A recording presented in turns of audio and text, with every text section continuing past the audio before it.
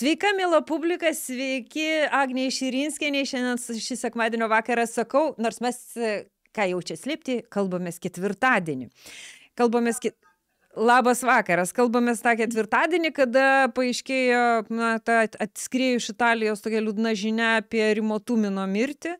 Ir čia prasidėjo iš tikrųjų Lietuvoje, na, tokios nuoskaudos, daug liejimo, bent jau socialiniuose tinkluose dėl to, ka kaip iš jo buvo prieš paskutiniais jo metais gyvenimo čia tyčiojamasi ir kaip jisai buvo ujamas.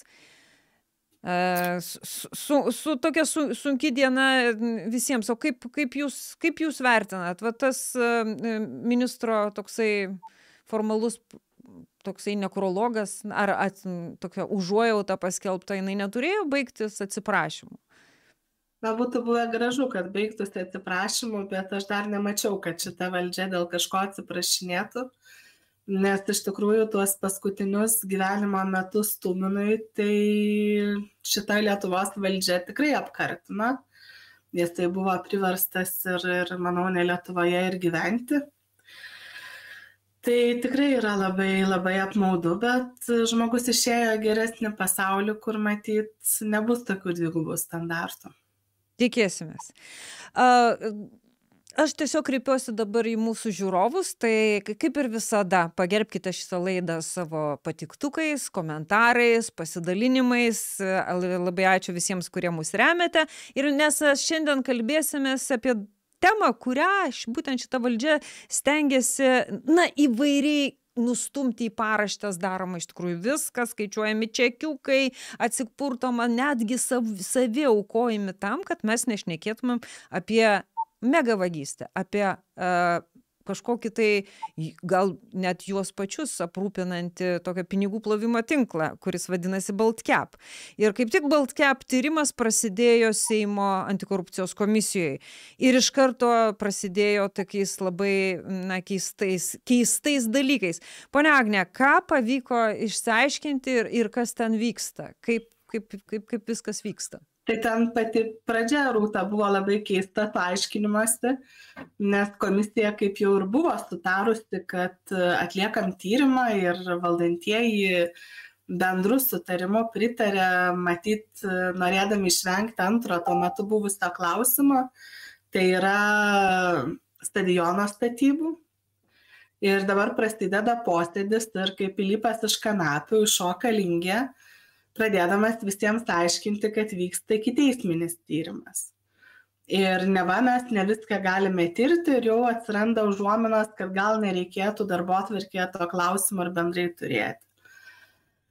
Tai iš tikrųjų buvo bandoma dėti į krūmus, nes matyt tam tikra baime, kad kažkas paklaus, tai vėlgi, na, jinai egzistuoja arba kažkas išsitars iš institucijų daugiau negu kad matyt reikėtų papasakoti, bet bendrai tai tas posėdžio įspūdis, paskui aišku, lingė jau ir savikai, kurie pradėjo raminti, Semeška pavyzdžiui, bet bendrai tas įspūdis tai tikrai man buvo labai slabus ir buvo gaila netgi tų trijų praktiškai, vakar mes tris valandas praleidome, besiaiškindami sugaištų valandų nes kai kurių institucijų elgesys tai išties buvo sunku, sunkiai protų suvokiamas.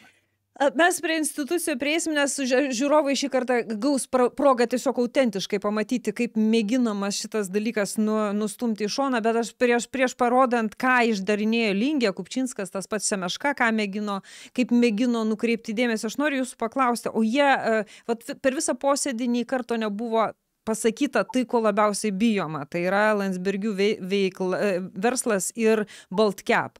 Jisai tiesiogiai susijęs, jisai net laikė prasidėjo turtėjimas ir to verslo išdidėjimas iki 17 milijonų dabar deklaruojamų būtent nuo Baltcap įsijungimo į šitą schemą jų Landsbergių verslo. Bet šitas nieko, nieko, nieko nebuvo paklausta. Ar tas klausimas apskritai iškils šitoj komisijoje? Nu, kito klausimo dar paprasčiausiai nedavė prasidėjo, nes dar bus tikrai ne vienas ir matyt gal ne du, ne du posėdžiai tuo klausimu, nes institucijos tikrai labai vengia bendradarbiauti ir, ir, ir šnekėti su Seimo nariais. Ir tas buvo akivaizdu, tai manau tiesiog dar sulauksim tų klausimų, nes dabar jau net ne šis klausimas yra įdomiausias, o įdomiausia yra, tarkime, kodėl taip elgėsi ar FNTT, ar finansų ministerija, kur, na, klausimai tikrai ir atsakymai buvo daugiau negu apgailėtini. Tai dabar duokime žiūrovams pamatyti, iš tikrųjų savo akim pamatyti ir išgirsti, kaip, kaip konservatoriai mėgina numuilinti šitą tyrimą. Tai man atrodo, čia šitoje vietoje yra svarbu, žiūrint ir tai, ką Konstitucinis teismas yra nekarta pasisakęs apie Seimo įvairių, įvairių matyt, lygių darbą, konkrečiai kalbant, galbūt labiau išplėtota yra ta konstitucinė jurisdikcija apie laikinųjų tyrimų komisijų kompetencijas.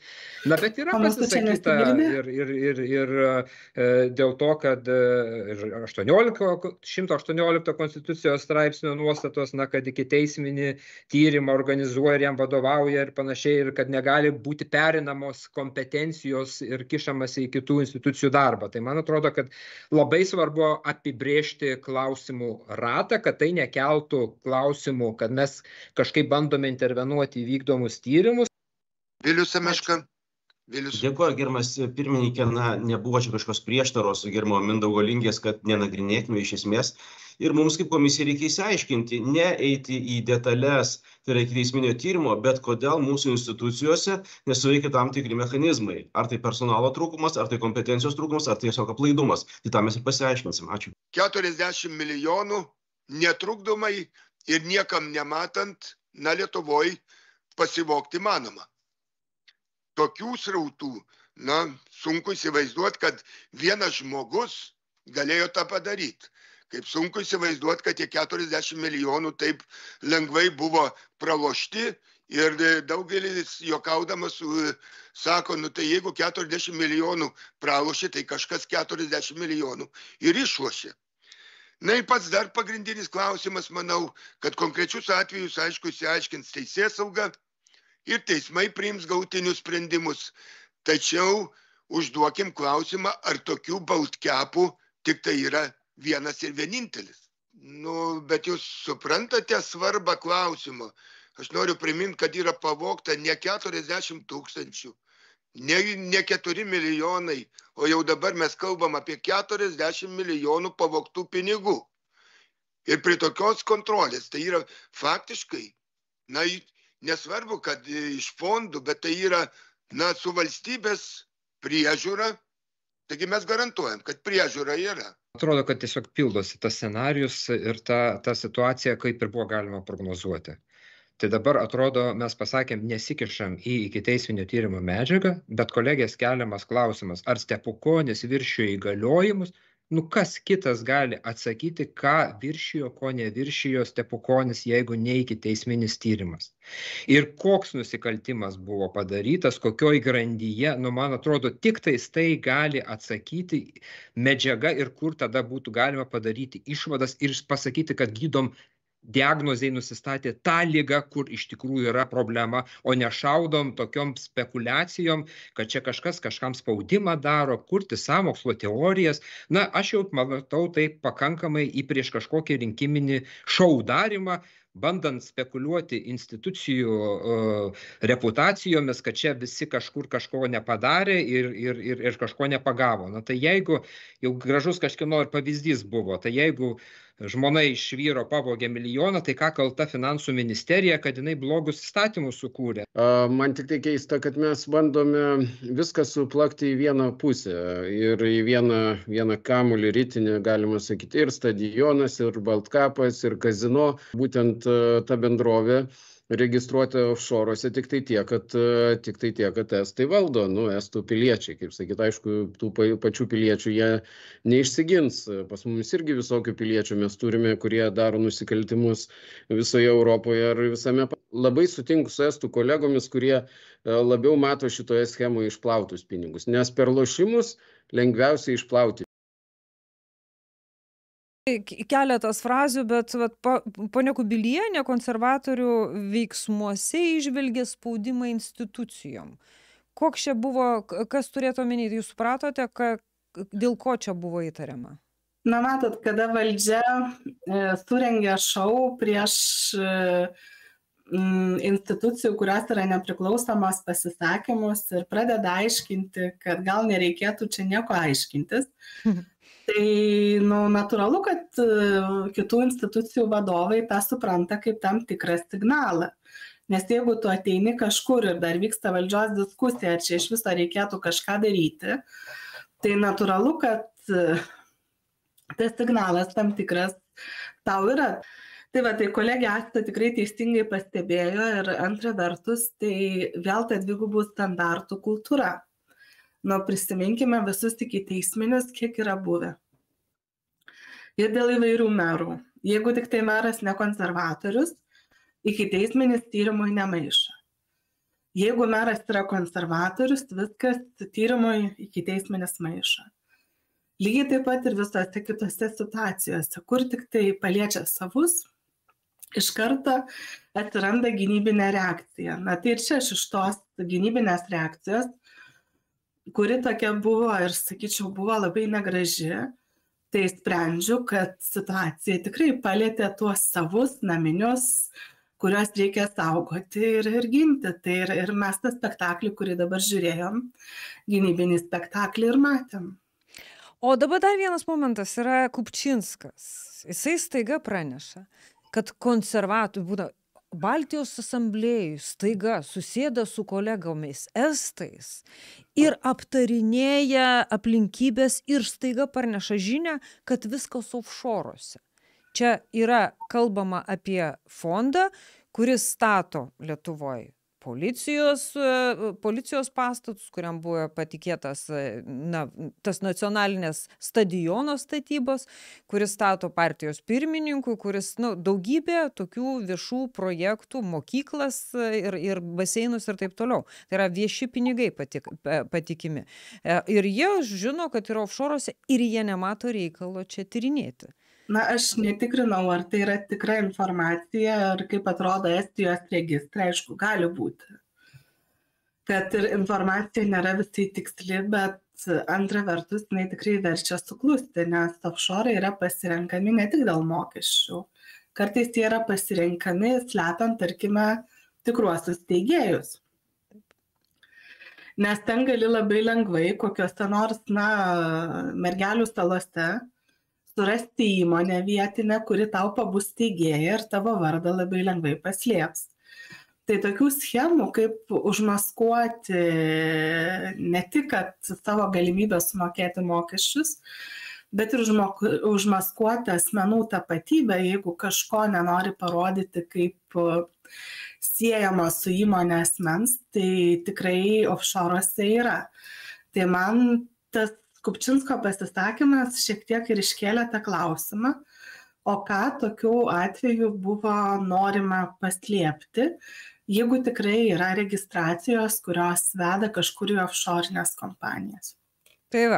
Dabar pasiklausykime to, kuris irgi labai trumpas, labai trumpas gabalėlis, nes ponas Kiškis iš FNTT vadovas ten dalyvavo labai trumpai ir po to dingo, bet jisai, ką, ką jisai sako apie 40 milijonų vagystę, tai yra, man atrodo, nuskandalinga.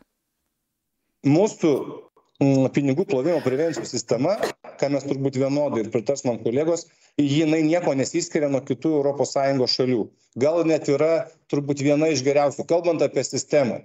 E, atsakant tuo pačiu gerbiamos e, Seimo narės Šeinskinės, taip, šiandien pasirašiau pavedimą atlikti tarnybinį patikrinimą, kitos institucijos nuo savęs gal pasakys, tai bet tai nereiškia, kad mes išvelgiam, kad galimai buvo tam tikras kažkieno nusižengimas. Mes atliekam tarnybinį patikrinimą įsivertinti, ar vidinės procedūros suveikė ar ne, ar galėjo e, vienas pareigūnas ar kitas, ar vienas darbuotojas ar kitas kai kuriuos dalykus atlikti efektyviau. Tai ir, ir jos paskui legalizuoti. Prašau, generolė. Ar mes turim dar tarnybos vadovą finansinių nusikaltimų?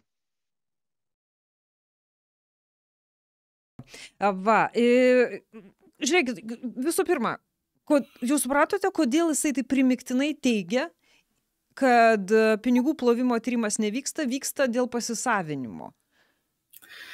Tai, tai matyt, tokį tyrimą ir vykdo, bet ta sistema, kuri turėjo, na, pasiūsti raudonas lemputes, raudonas vėliavėlės ar, ar fejerverkus, nežinau ką, FNTT, tai ta sistema yra pinigų plovimo sistema. Pagal ją dirba ir, ir visi bankai, turi pranešti vėlgi tam tikras įtartinas transakcijas.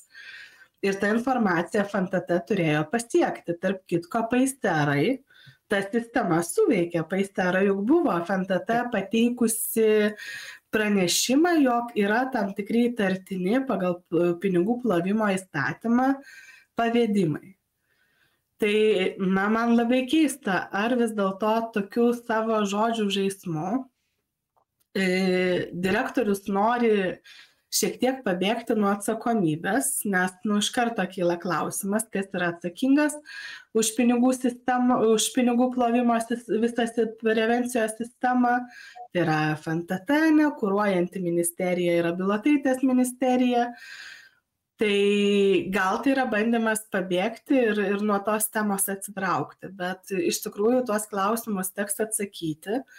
Ir vėliau, kada jis taip pabėgo ir paskui vėl kažkaip tai prisijungė, nes jau Seimo nariai jo pradėjo ieškoti, tai jam teko pripažinti, kad vis dėlto patikrinimą dėl paisteros atmesto to kreipimosi jie pas tave pradėjo bet paradoksas kad jie kreipimąsi pas save pradėjo būtent tą dieną kuomet e, jam teko eiti į antikorupcijos komisiją aiškintis. Tai kažkaip tiek laiko direktorius jau tas ikiteisminis tyrimas vyksta nuo pernai metų. Apie tai, kad Paistera kreipėsi į FNTT ir FNTT vėlgi nesureagavo iš esmės. Tyrimą nutraukė ankstesnį, kad dabar visi suprantame, kad buvo padaryta klaida. Apie tai taip pat yra žinoma jau kelintas mėno. Ir per visą tą laiką direktoriui nekilo mintis pasidomėti, o kasgi nesuveikė ir yra nepadaryti pažeidimai. Kaip tik ta mintis išganingai, kaip Bartoševičiui Čiliai, nukrito tuomet, kai jisai eina į antikorupcijos komisiją. Nu, tai tas, tas atrodo rūtė tikrai juokingai. Uh, nes akivaizdu, kad bandoma ne parodyti, kad kažką darome, bandoma atsiriboti nuo nesuveikusios pinigų plovimo prevencijos visos sistemos, tarsi jinai nieko nebūtų dėta. Tai šiuo atveju, na, bendrai žiūrint visą tą jo, jo kalbą, kiek, kiek jos buvo, tai galiausiai tai dar užsipuolė ir Seimo narius, kodėl tie klausti apie teisės aktų pakeitimus. Nors Seimo nariams, nu, pirmas yra klausimas, jeigu jau pas jūs ten taip viskas nesuveikia, ne, jūs nieko nematėt, tai gal kažkokio tam matymui trūksta teisės akto, nes priešingų atveju tai bet kuriam seimo nariui kyla klausimas kad jeigu visi teisės aktai gerai ir tu nematei kaip dingsta tie keturiasdešim milijonų per įvairius pavedimus nu tai vadinasi direktorius yra kaltas už tai kad jo tarnyba tokių praleistų pro pirštus ir, ir pro savo akis lėšų per tuos keletą metų nesugebėjo pamatyti tai čia jau tada kyla direktoriaus atsakomybės klausimas jeigu nieko nereikia keisti bet kažkaip nu niekas nesuveikia ir tie keturiasdešim milijonų išmigruoja tarsi savo kojomis į vien iš vienos į kit į kitą sąskaitą. E, Dar vienas mano supratimu visiškai sensacingas dalykas buvo, ta prasme, kad e, į, į, į vietoj Simono Gustainio buvo atsiųstas TGS Baltic bendrovės advokatas ponas Drizga. Ir aš čia norėčiau irgi, kad vėlgi mes trumpai pasižiūrėtumėm va to pono pasisakymą, ką jisai pasakė. Aš darbuojuosi advokatų kontorų TGS Baltic ir aš atstovauju fondo valdytoje. Fondas yra Balcap Infrastructure Fund ir yra jo valdytojas Estijoje registruota įmonė. E, ir šiuo atveju e, aš mačiau siūstą pranešimą ir pranešimas buvo siūstas lietuviškai įmoniai UAB Balkep, kuri neturi e, ryšio su šituo fondu. Nes jeigu taip techniškai tą struktūrą parodyti, ar ne, tai yra Estijoje registruotas fondas, ar ne, Balkep infrastruktūros fondas, jeigu lietuviškai paminėti, yra tada atskira įmonė to Balkep infrastruktūros fondo valdytojas, kuri teisinė prasme yra atsakinga už visų valdymo veiksmų įgyvendinimo. Tos estiškos įmonės du valdybos nariai yra Estijos piliečiai, Estijoje reziduojantis ir taip pat kalbantis gaila tik estiškai ir angliškai. Ir aš turiu būtent atstovavimo sutartį to valdytojo vardu veikti ir atsakyti visus ir bet kokius jūsų klausimus. Štai, e, staiga mes pamatom, jūs galit paaiškinti, vat, jisai atrodo apsimeta, kad jisai atstovauja kažkokius tai estus. Nors mes žinome, kad e, nu, pagrindinis naudos gavėjas pagal viską yra tas Simonas Gustainis. Ir šitas yra perkama, šita, šitas yra pri, nu, priimama kaip, fa, nu, taip atėjo va toksai mm. dėdė nežinia kokia įmonė nors ta įmonė yra e, po to lietuvos banko atstovas ten meluos kad jinai jie ten irgi estiška. Estiškoj įmonėj nei vieno darbuotojo nėra. Adreso ta prasme nėra kur net kreiptis. Aš seniau rūta, tiesą sakant, ką jis tai ten atstovauti bandė, netgi nei savo galvos sukau, nei klausiau, dėl vienos elementarios priežasties, kad, na, kada ateina ne pats vadovas, o atsiunčia kažką, tai akivaizdu, kad visų atsakymų, ką be užduotum, negausi. Ir galų gale gausti geriausią atsakymą, kad, nu, čia tik vadovas gali paaiškinti. Tai šiuo atveju, na, buvo akivaizdu, kad Šarūnas Gustainis vengia kažkokių tiesesnių klausimų. Ir dėl to yra atsiunčiamas žmogus, kurio, na, netgi atstovavimo dokumentų man regis niekas bendrai ten nepatikrino. Tai jis tai galėjo ir apsišaukęs greičiausiai lygiai su tokiu pat e, efektyvumu ateiti ir, ir pats stovauti, nes, na, bet tai yra Baltkepo, matyt, e, toks jau darbo stilius. Aš prisimenu tik tai tą komisiją, kur karalienės Mortos mokyklos statybas aiškinomės, tai irgi, na, buvo stepukonis gi visur pasiūstas ir, ir paskui stepukonis irgi aš jau neatsimenu, ką ten dar vedžiojas, man atrodo, kažką iš teisininkų. Tai tuo metu irgi mes nematėme vadovo, nors atrodytų, kad, na, vadovas, tai ne tas, kas už viską yra atsakingas, jisai turėtų būti ir, ir dėmesio centre. Tai šiuo atveju jau labiau Baltkepo čia dalyvavimas, matyt, buvo daugiau toksai mandagumo dalykas, nes įmonės veiklos viduje, kas vyko, tikrai ne, ne Seimo yra reikalas.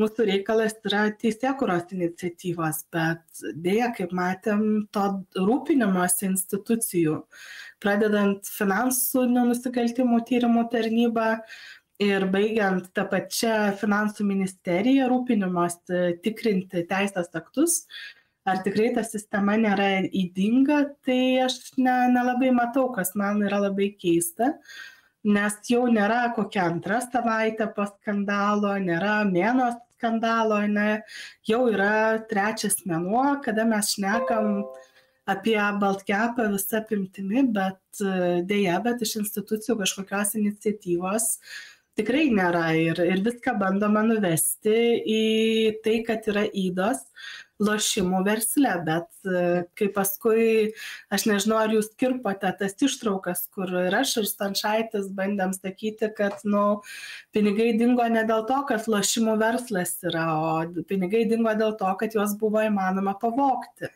ir tik tada, kai juos buvo įmanoma pavokti, juos buvo galima nunešti į lašimų verslą. Tai tikrai čia nelaimės nuo lašimų verslo neprasidėjo.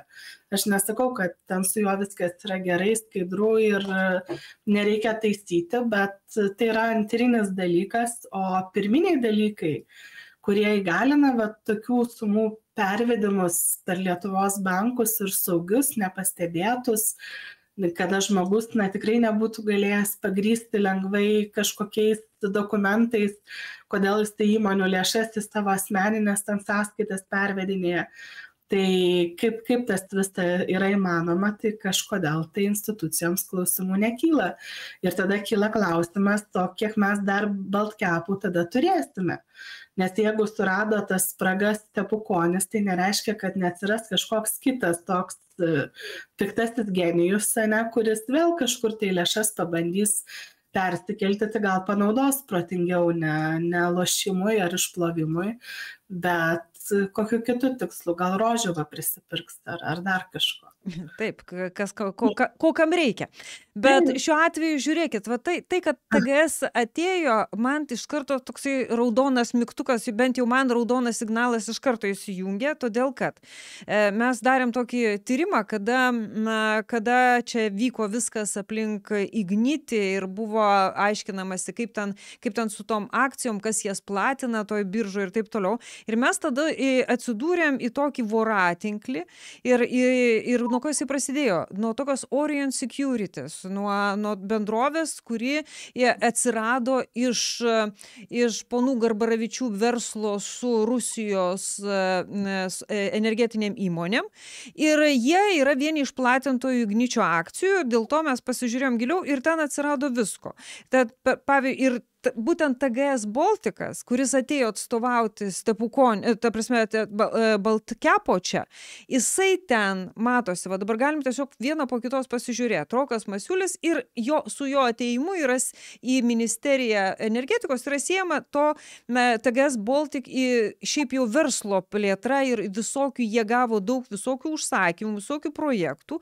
Ir tarp tų projektų, dabar galima pažiūrėti penktą skaidrę, atsiranda ta būtent dar vienas toksai e, dalykas Orion Securities ir, ir va toksai ir, ir būtent TGS suformina visą tą reikalą ir finale Dabkaus va, tyrimas parodo, kad e, to, Tomo Dabkaus, jisai dabar jau toksai jau nežinia kur esantis, bet tada žurnalistas paskelbė tokį tyrimą, kuris susijėjo iš viso ten per Opus Dei, per visokius kitokius dalykus, kai jie, kad būtent ten susi, jie rado vienas kitą.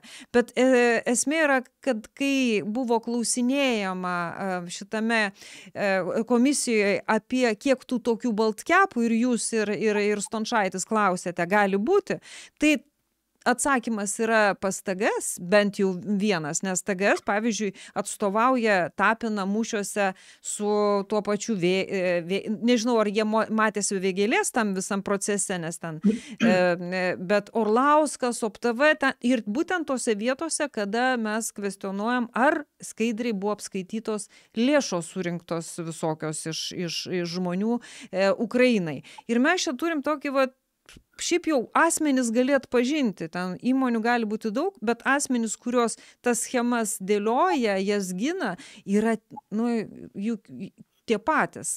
Tai va čia, čia tas momentas yra įdomus. Ir ar...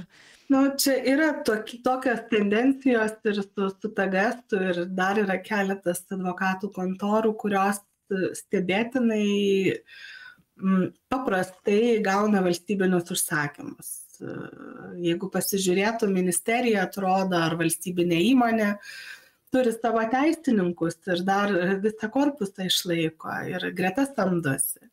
Ir dažniausiai, na, vėlgi yra keletas kontorų, į kurias yra kreipiamasi. Tai taip, tagastas, jis tai daug kur figuruoja, kur yra energetikos verslas, tai čia gali spėlioti, nu taip, yra tas pamaldžių vyrų burelis, kurį jūs įvardinot, kuris sukasi visas vėlgi sutapimas energetikos sektoriuje, ar Masiulis, ar, ar, ar Kreivys, kurie vėlgi na, bendrauja akivaizdu tarpusavyje ir, ir, ir kiek tie pokalbiai anksčiau fiksuoti, Lietuvos ryto tyrimas dar buvo ne tik Dabkaus, kitų žurnalistų, tai panašu, kad jie tam savo maldų burelį aptarė ir karjeros galimybės.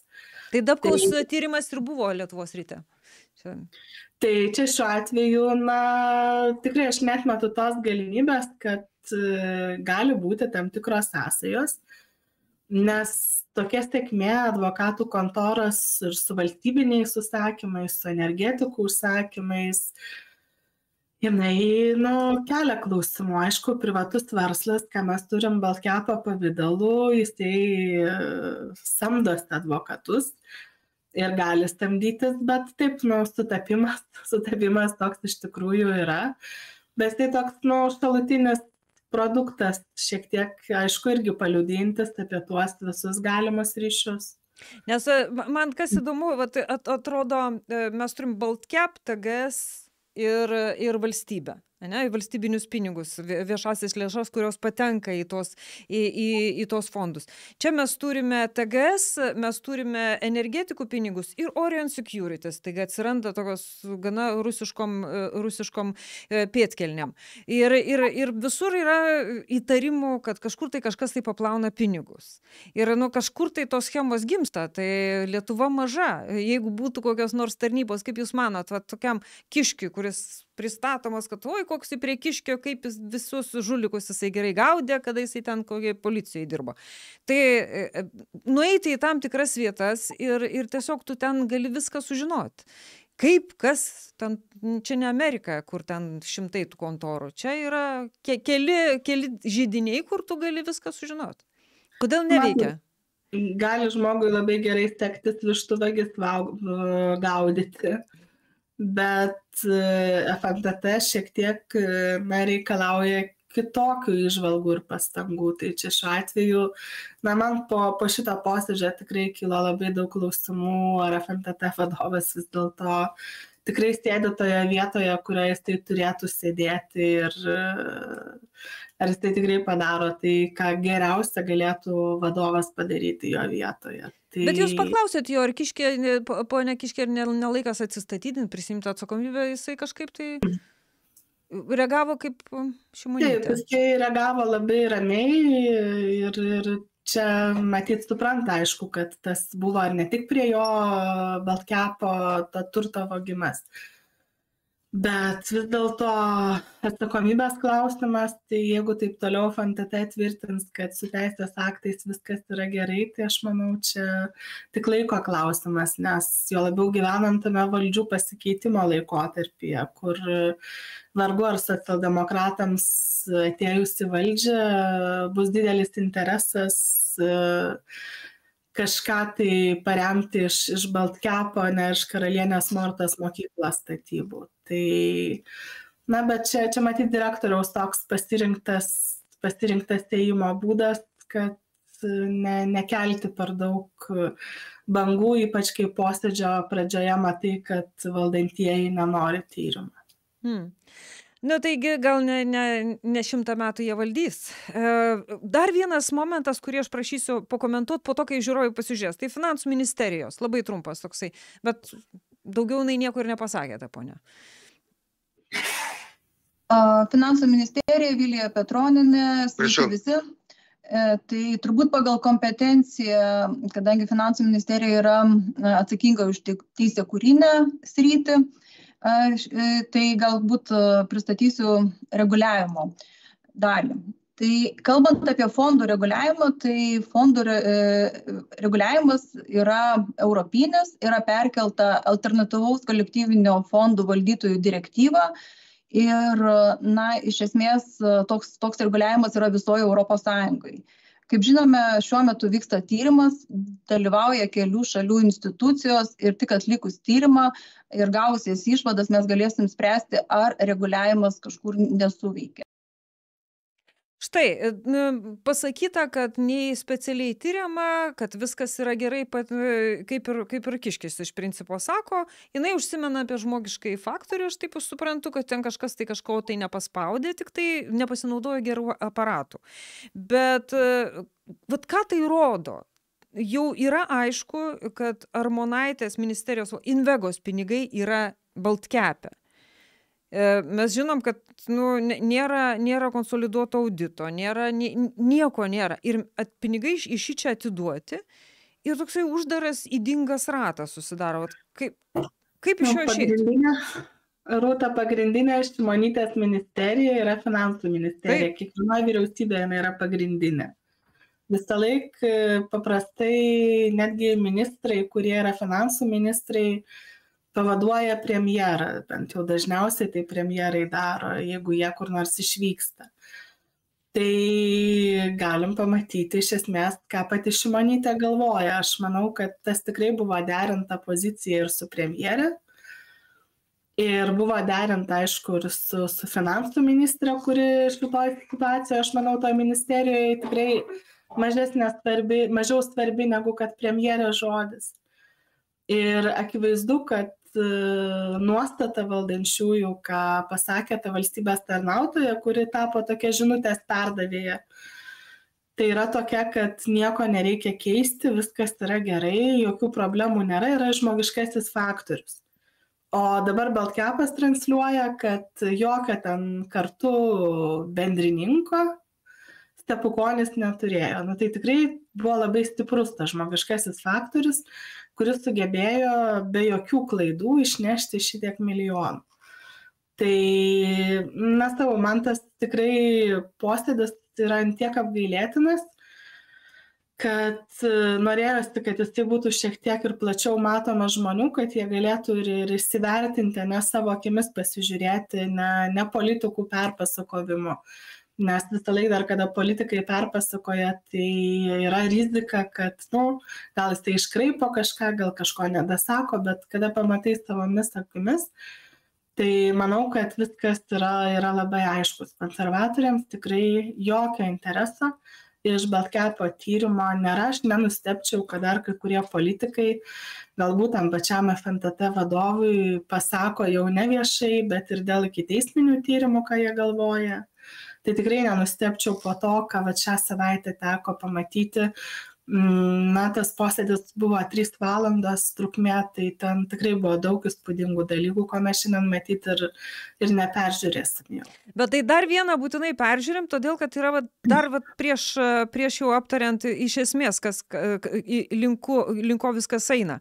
Lietuvos bankas Lietuvos bankas, mano supratimu, pagal tai, kas mums žinoma, ir melavo, ir taip išbaigė visą tą reikalą, suversdamas na, kaltę kažkokiam profesionaliam investuotojam, ties kuriais viskas ir užsibaigė. Na, suklydai su valdiškais pinigais, su žmonių pinigais, investuodamas profesionaliai, kaip Invega, pavyzdžiui, sukišus pinigus ir neišsitraukus iš, iš šitų visų veikėjų, nu mes ir toliau ten dėsim bet va taip taip nutinka. Ta prasme nurašys nuo klientų nuo kažko. Tai vat pasižiūrėkim dabar lietuvos banko veikėjas pasakoja.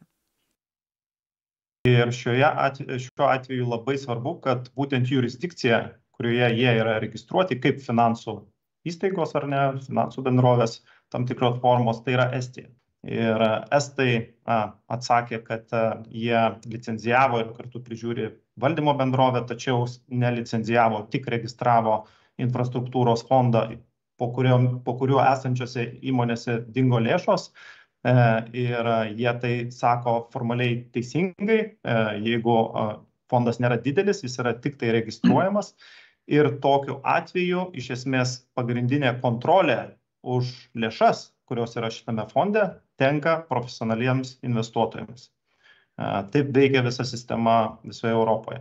Jeigu fondas yra profesionalus, yra instituciniai profesionalus investuotojai, kurie, kurie deda lėšas į fondą, jie e, susitarė, kaip bus vykdoma šių lėšų kontrolė ir ši sistema veikia dėl to a, taip, kadangi tai na, nėra mažmeniniai investuotojai.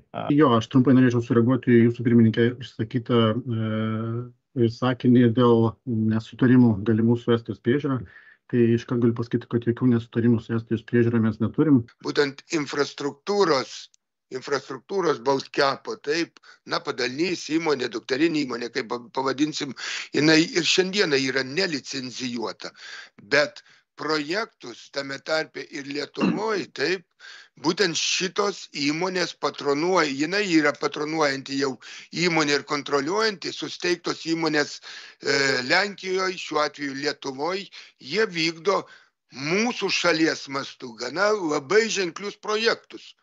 Bet principė, kiek suprantama, vėl ta vieša buvo informacija, kad Baltkepo, į Baltkepo ataskaitą į konsoliduotą ataskaitą šitų įmonių taip nepatenka į konsoliduotas ataskaitas. Ar aš teisus ar ne? Viskas, viskas aišku ir klausimas irgi visiškai teisingai suformuoluotas. Tai aš tiesiog pasakysiu, e, pakartosiu dar kartą, kaip atrodo į fondų struktūrą. Tai viršų, viršų yra e, valdymo įmonė, kuri valdo fondą, tai šitą įmonę yra registruota Estijoje e, po šiai dienai ir po šiai dienai šitą įmonę neturi licencijos šita įmonė valdymo įmonė valdo fondą kuris irgi yra registruotas estijoje jis nėra prižiūrimas Ir šitas fondas investuoja į įmonės, tai ir lietuviškus UABus, ir lenkiškas įmonės, ir latviškas, ir būtent tos įmonės vysto konkrečias investicijas. Tai yra stato pastatus, stadionus, mokyklas, darželius, policijos departamentus ir viską kitą. Tai todėl čia šitoje būtent Baltkepo istorijoje labai yra aiškiai sąsaja su, su Lietuva. Bet įmonės, tiek pati valdymo įmonė, tiek pats fondas yra registruotas Estijoje. Dabar, ar tai yra normali struktūra, įprasta finansų rinkoje? Taip, tai yra visiškai įprasta struktūra, visi, visi tokio tipo fondai būtent taip ir valdomi, kai šitoj struktūroje kažkokių neįprastų darinių mes tikrai bent jau šiandienai nematom.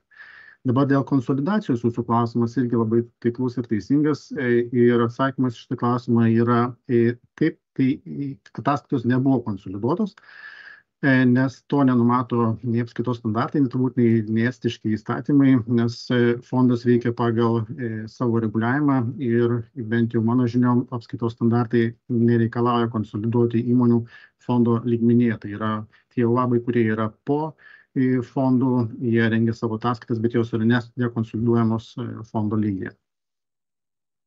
Tai tikiuosi. Bet tai matyti ir sukelia rizikas. Investicinės reikia dar pasakyti kad visos šios rizikos kurios kyla iš tokių fondų valdymo jos tenka fondų valdytojams nes tie fondai yra skirti profesionaliems investuotojam paprasti žmonės tokius fondus investuoti negali. Ir būtent profesionalūs investuotojai susitaria dėl valdymo struktūros. Kas kam kokias ataskaitas teiks kas kas kam atskait atsiskaitinės ar yra privalomas auditas ar ne nėra privalomo audito. Tai čia yra grynai profesionalių investuotojų susitarimas tai štai dabar lietuvos bankas. Jisai pateikinėja tokią versiją kad čia kažkokie tai atsako profesionalūs instituciniai investuotojai už visą tą dalyką ir jie jiems nepriklauso prižiūrėt nors ten yra lietuvos pinigai lietuvos žmonių pinigai o jie apsime o šitas dalykas po enrono skandalo konsoliduoti auditai yra privalomi. Tam jie ir įvesti buvo. Todėl kad enrone vogta buvo taip kaip vogti vogė baltkepas. Ir staiga mums pasakoja pasakas ir ir seimo nariai linksi.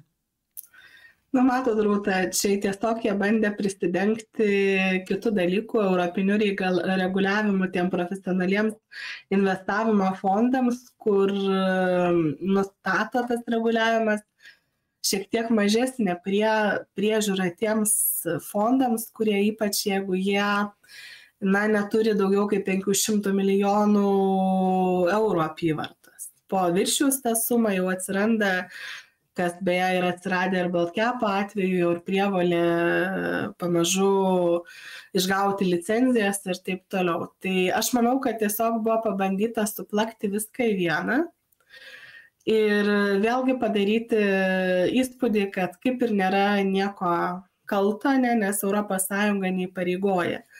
Bet jeigu ES taiko švelnesnį reguliavimą, nes vartotojas čia su investavimu susiduria netiesiogiai, bet per profesionalų tarpininką, tai nereiškia, kad iš viso jokios priežiūros ES nenustato veikia ir pinigų ta pati plovimo sistema prevencijos turi veikti tokiems fondams, bet panašu, kad kažkaip šitam nesuveikia. Tai tiesiog, na, dar vienas tokio vartimas iš, iš gaidžio ar iš vištos pavyzdys, kuomet nieko nelieka kaltų, bet labai išradingai yra apkaltinti tą europinį reguliavimą, kurį tikrai daug kas, na, neturi net laiko išsamei susipažinti o žiūrėkit man tai pasida susidarė dar kitas įspūdis. Vat vienas po kito jie šitai valdininkai kalba mano galva jie gina tą schemą. Gina kaip tiesiog kaip sarginiai šunys.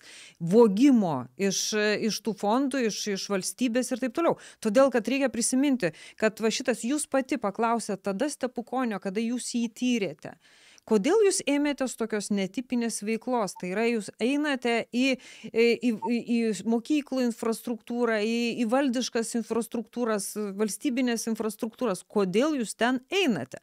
Ir jisai ir ir čia yra du todėl kad ten yra viešieji pinigai. Ir staiga va tie kurie turėjo jie sako taip taip taip čia čia gera schema čia viskas gerai. Čia vienas pasako, čia offshore'uose viskas tai dar geriau, ne? Taip, aš pilnai sutinku, kad vyksta tam tikras legitimavimas, nes pasižiūrėkim tą, tą visą liniją, kaip, kaip atrodo posėdis nuo valdančiųjų, ne pačios pradžios viršūnėlės, kur duodama suprasti ir kubilienė taip kažkaip taikliai tikrai pataikė pasakyti, kad ar tai nėra spaudimas, tai nenurodymas, kaip elgtis, iki paskui visų tarnautojų paaiškinimų. Tai nepamirškime, kad juos klauso, mato ir, ir tie patys tyrėjai, kurie atlieka tyrimą mato prokuratūra, mato galų gale ekspertai teismo, greičiausiai aš taip spėju, tie ekspertai taip pat bus pasitelkiami, specialių žinių reikės. Tai ta nuomonė jinai yra formuojama tikrai labai taip, sakyčiau, kad na, na nuosekliai ir iš esmės dabar atrodytų, va, išklausus tą ne visą foną, tai tikrai kaltų nėra, stepukonis kažkur toli, jo paklausti nebegali. Mm, jisai galbūt lošėjas, apie lošimus kalbame, kad ten viskas blogai ir beje, lošimų priežiūros tarnyba, kuri kalbėjo, jinai tikrai savo srityje labai kritiškai kalbėjo. Tai tas akcentas į lošimus persimeta tikrai labai smarkiai, pamirštant visą tą bankinę sistemą, kuri turėjo suveikti dar uh, dar iki lošimų, nes, na, pinigai patys iki lošimų namų nenuėjo.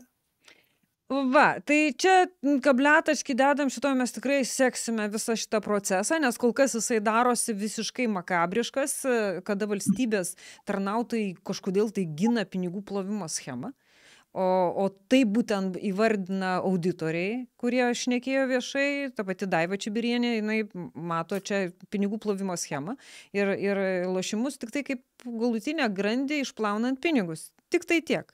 Bet niekam čia kurie atsakingi visiems atrodo viskas gerai palikit ramybėj mus. Mes gerai plaunam pinigus.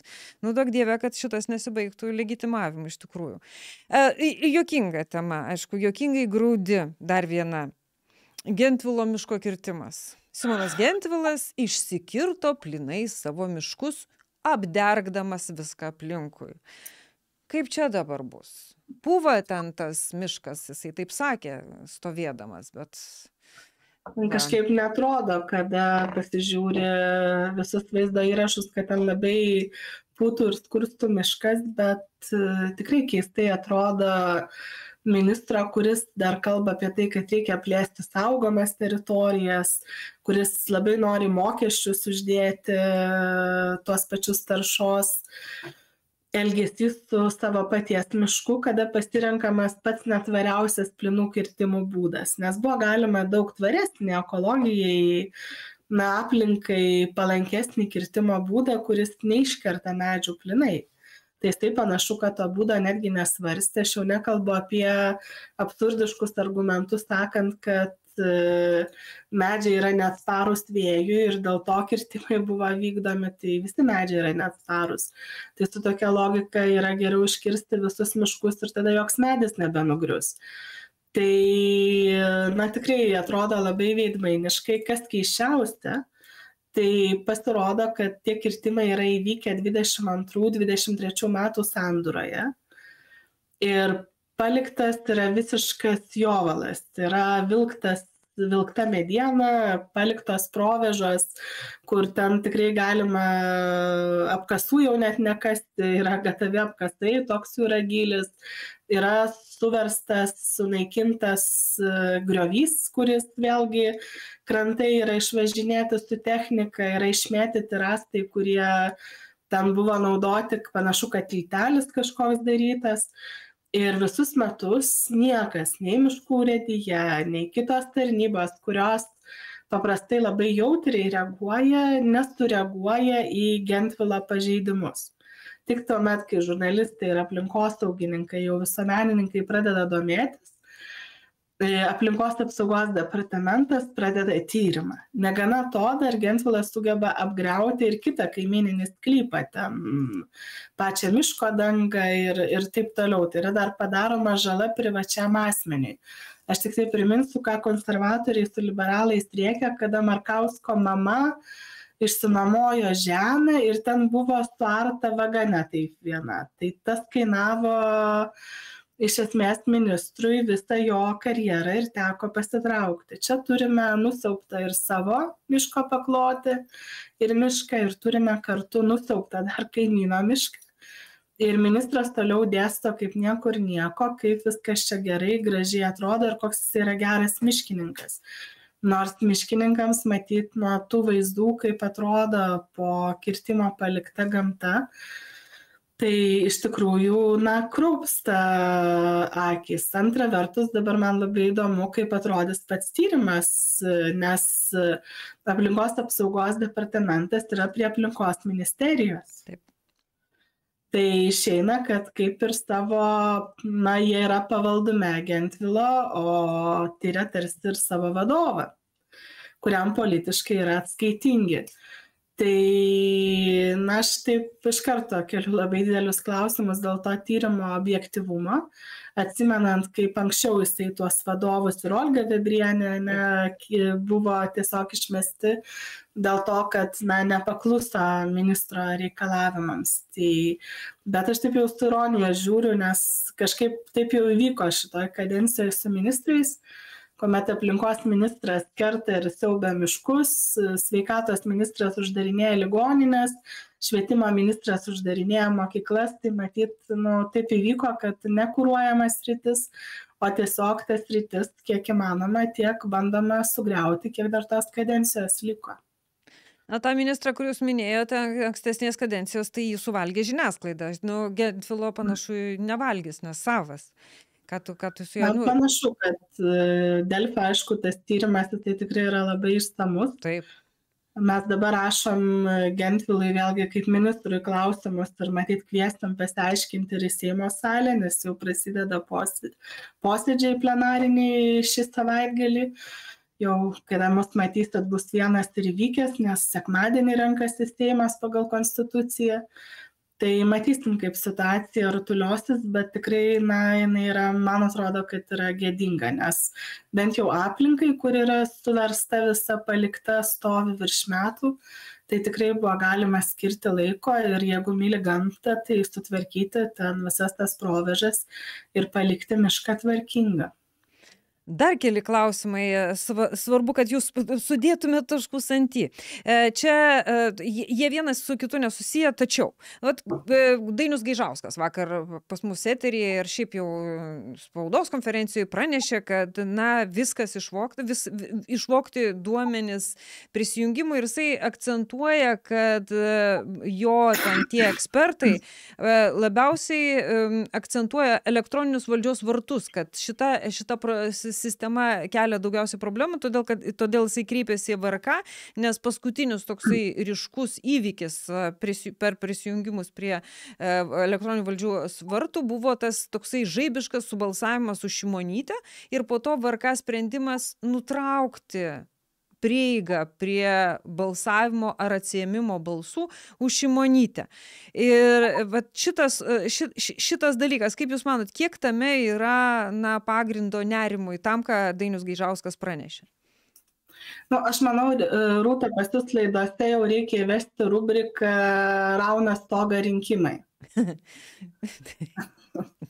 tai ir konservatorių daug epizodų ir, ir šitas epizodas su Gaižausku, kuris taiga atsibudo, kai sužinojo, kad yra juodasis internetas, sužinojo, kad yra deep, deep fake ir galima balsą ir veidą sufabrikuoti ir paskambinus telefonu prisistatyti. Tai visi tie dramatiški Gaižausko šnekėjimai, nu, jie tikrai šypsaną kėlė, žinokit, juos žiūrint, nes visos tos problemos yra žinomos e, senai. Yra žinoma, kad yra juodasis tamsusis internetas, kad ten tikrai yra daug e, pagrobtų duomenų. Lietuva ten irgi senai jau žinoma, kad yra tikrai neatsiliekanti. Bet ta problema yra susijusi su tuo, kad dažnai mūsų įmonės, ne tik valstybinės, bet ir privačios įmonės, jos na neskiria mm, jokių didesnių investicijų savo saugai. Atsiminkim, buvo nutekėję ir duomenys, buvo didžiuliai skandalai ir grožio klinikų įvairių su, su tikrai pacientų jautriais duomenėmis. Tai tie dalykai jie buvo žinomi, dabar, na, aš kada klausiausi vakar pas jūs Gaižausko pasakojimo, kaip ten galėjo per e, tą puslapį rinkėjo prisijungti per valdžios valdurtus ir subalsuoti žmon, mirę žmonės. E, nes kažkas galėjo pasinaudoti jų duomenimis, nu, nu žinote, mirę žmonės nėra rinkėjų sąrašuose, tai jie jau automatiškai, jeigu kažkas jungtųsi su mirusio žmogaus duomenimis, tai būtų neįmanoma prisijungti netgi, nes jo sąrašuose nėra. Iki šitų rinkimų dar buvo problema su mirusiais žmonėmis, e, kurie miršta užsienyje ir nepraneša Lietuvai bet dabar jau netgi ta problema yra išspręsta, ką daryti, ne, kad jie neatsidurtų rinkėjų sąrašuose. Tai man tikrai na, atrodo daugiau kaip toks rinkiminis šiek tiek gaižausko šau, negu reali problema. Aš suprantu, kad ten partijoje yra, kiek girdžiu, gana aršus mūšiai dėl Europos parlamento sąrašo ir Gaižauskas bus jame, tai aš manau tiesiog Seimo narys pradėjo tokį rinkimų kampaniją. Vieni gazdina karu, kiti dabar gazdina juoduoju internetu, o ne tamsiuoju internetu.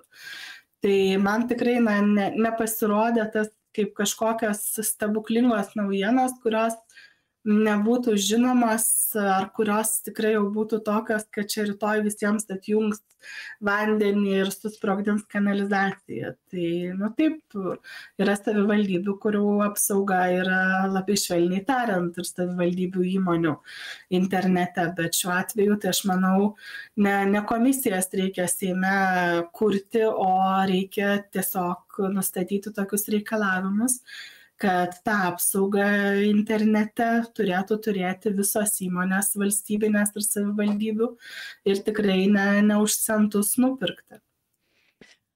Gerai, tada dar vienas, jau paminėjo, kad paminėjote karą, dar vienas skandalas per tą laiką, per tą trumpą laiką, kol mes nesimatėm, buvo e, po jau e, šito krašto apsaugos ministro sugrįžimo, po to viso reikalo, kada buvo pranešta, kad mes čia tuo įvesim kariuomenę į, į, į Ukrainą kada buvo pasakyta, kad ten jie nekariaus, vienu žodžiu, jie ten ir mandatas Seimo yra, e, pabudo e, ponas Tutkus, generolas Tutkus, ir pasakė, kad, nu, va, matot, aš esu, buvau teisus ir jisai išplatino tokį sąrašą, po to atsiprašinėjo tiesa tų žmonių, e, sąrašą Seimo narių, kurie pagal, jie, pagal jį balsavo už tai, kad Lietuvos kariuomenė būtų įvesta į Ukrainą.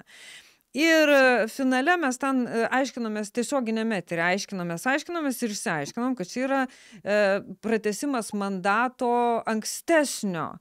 Ir ir ir kad ten yra e, tas momentas dabar jau ponas tutkus sako kad dabar tie seimo nariai kurių jisai atsiprašė turi inicijuot atšaukimą būtent ukrainos e, eilutės tame mandate kur gali lietuvos kariai kokiose tarptautinėse misijose dalyvaut. Jūs galit paaiškinti va tą ukrainos dėmenį šituose mandatuose kada jisai atsirado ir kaip kaip ten viskas buvo ir kodėl seimo nariai taip drąsiai balsavo prieš naujus metus O čia irgi tas Tutkaus visas veikimas Facebook'e yra irgi iš tos pačios serijos, kad stogą rauna rinkimai.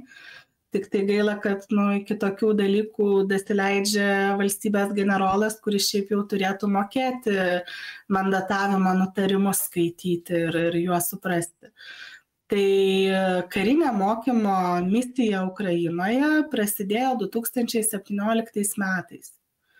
Tai buvo tas pirmasis mandatas, kuomet jisai buvo išduotas. Paskui 22 e, metais prasidėjo vasario mėnesį plataus masto karas ir mandato apimtis buvo pakeista. Jeigu iki tol tikrai buvo kalba apie Ukrainos fizinę teritoriją, ir nuo septynioliktų metų vykdavo mūsų civiliai krašto apsaugos darbuotojai ir kariškiai padėti Ukrainai mokymo batalionus vietoje, tai po 22 metų tas mandatas buvo pakeistas ir iš esmės Ukrainos kovinis tas karių parengimas jisai tapo vykdomu ne Ukrainos teritorijoje, bet NATO ir ES valstybių narių. Tai dabar mandatas pagal tai, kaip yra surašytas ir aiškinamasis raštas, jeigu dar kartu žiūri, yra labai akivaizdu, kam jisai buvo Seimo duotas. Jisai buvo duotas tai Ukrainos karių mokymo misijai, tačiau ES ir NATO valstybių teritorijoje. Tai na realybė yra tokia kad misijos pavadinimas yra nepakeistas tai taip misijos pavadinimas yra likęs toks pats. Ukrainoje ten yra žodis. taip ten yra ukrainoje tas misijos pavadinimas išliko nes panašu jeigu karas kada nors baigtųsi vėlgi ta misija na vyktų taip kaip jinai vyko nuo septynioliktų iki dvidešim antrųjų metų Ir taip mokymai tie vyksta ir Junktinėje karalystėje, ir kitose valstybėse, kur Lietuvos e, kariai, na, jie taip moko Ukrainos karius. Mhm. Bet tai e, tokiu atveju, e, vat, e, sakoma, kad vat, čia dar Anušausko tas pasakymas ir Budrio pasakymas. Esą šito mandato, čia painiava nuo jų prasidėjo, ne nuo Tutkaus. Kai, kai jie grįžę iš Makrono, staiga pareiškia, kad jiems užtenka to mandato, kurį Seimas suteikė, kad jie įvestų fiziškai karius į Ukrainą nu e, ar užtenka tai visąlaik galima pasiaiškinti konstituciniam teisme bet e, kažkaip kiek prezidentūra turėjo bylų ten visąlaik tas bylas pralaimėdavo pastaruoju metu.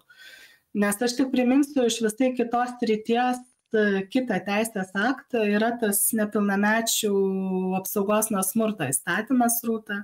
Taip kuris e, dabar patyrė ir, pralaimėjimą žmogaus teisų teisme ir vėlgi teismas vertino ne tik, kas yra parašyta, nes ten parašyta viskas labai neutraliai, kad e, negalima skleisti informacijos nepilnamečiai, kuri niekina šeimą, o aiškinamajame rašte Seimo nariai sugebėjo surašyti, kad šita informacija apima ir visus homoseksualius asmenis, informaciją apie juos.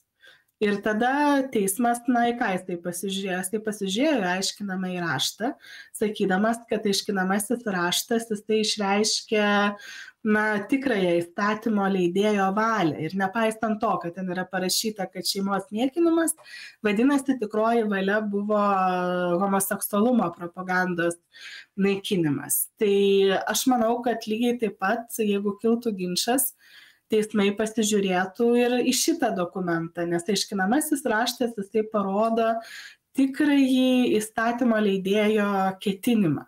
Nes man kada mes priiminėjom tą teisės aktą irgi eilutė labai užkliuvo nes aš tikrai nežinojau visos epopėjos ir manęs ne nelabai domino misijos ukrainoje septynioliktais metais. Ir man ta eilutė užkliuvo ir aš paskui pati atsimenu kaip skaičiau aiškinamąjį raštą kad suprasti kas yra norima pasakyti bet kada paskaitai tai ten yra viskas aišku. Aišku dabar galim ir prezidentas apsimesti kad jų rengtas dekretas jiems patiems neaiškus ir ir anušauskas ar kas nori bet popieriai na jie rodo tą situaciją kokia buvo nutarimo priėmimo metu. O jinai labai yra aiški kad tai yra mokymo misija kuri yra ukrainoje jinai nuo septyniolikos me septynioliktų egzistuoja bet nuo dvidešimt antrų ta mokymo misija yra vykdoma kitose valstybėse kurios nėra ukrainos teritorija. Ir beje dar nutarimo aiškinamasis raštas primena ir tarptautinius įsipareigojimus dėl kurių mokymo misija ukrainoje negali vykti šiuo metu. Taip Vat aš irgi tą perskaičiau aiškinamajam rašte. Tai, na, toksai reikalas. Bet jūs paminėjot konstitucinį teismą ir konstitucinis teismas, pabam, aplenkdamas žemaitaičio reikalus, Stambulo konvenciją pagreitintų būdų e, tyrinės. Tai jau šiai sesijai jūs gausite Stambulo konvenciją iš, iš naujo.